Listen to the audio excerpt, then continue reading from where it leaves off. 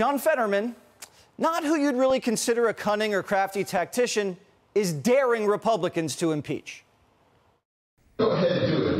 I dare you. You know, you know, if you can find if you can find the votes, you know, go ahead and you know you're going to lose.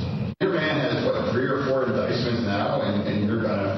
So like, I said, you know, sometimes you just got to feel colder.